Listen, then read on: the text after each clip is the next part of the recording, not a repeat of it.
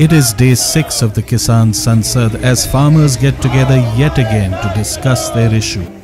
Every session of the Kisan Parliament begins with the national anthem.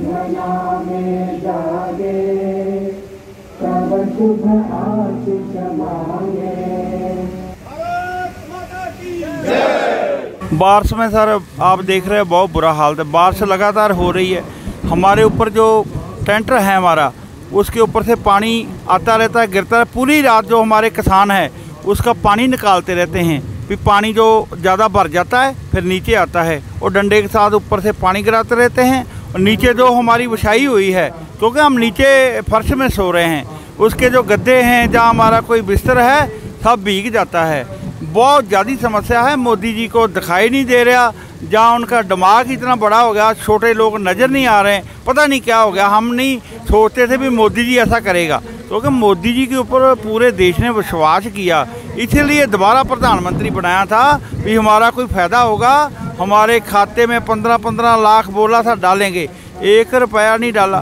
नोटबंदी जब किया इसने, इतना घातक हुआ है, जो गरीब बंदा है, गरीब किसान है, उसको बहुत मुसीबतें आई, बहुत प्रॉब्लमें आई। हैं उनका खुद का पैसा था जो पाँच पाँच सौ करके निकाला गया जब उसकी ज़रूरत हज़ार की थी उसको पाँच सौ दिया जाता था कई लोग उसमें गिर कर मर गए बूढ़े बैंकों के आगे तो बहुत यहाँ को फिर जब नोटबंदी की किसका खाता नहीं था लोगों गरीबी के पास खाता खिलाने के लिए पैसे नहीं थे उन्होंने खाता खिलाकर पैसे जमा कराने पड़े हो बहुत मुसीबतें आई जीएसटी लगाया देखो जीएसटी ਜਿਹੜਾ बहुत ਵੱਡੀ बीमारी मैं सोचूंगा किसानों के ऊपर पहले जीएसटी नहीं होता था।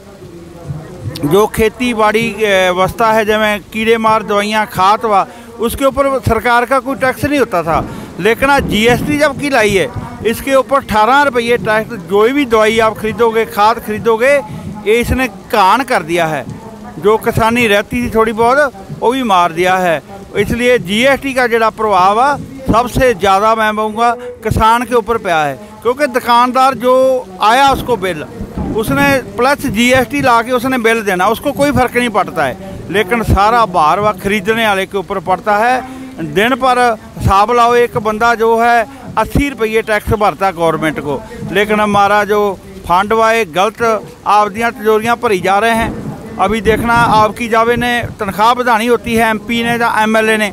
वो वो बोल देते हैं, इतना होना चाहिए, बस सब टेबल खड़का देते ठीक है, बढ़िया बढ़िया। है लेकिन किसान के लिए, कोई बोलने के लिए तैयार नहीं। इसलिए हम इनके रस्ते में बैठे हुए हैं, संसद के बाहर बैठे हुए हैं। भी हमारा ये हक इथे रख।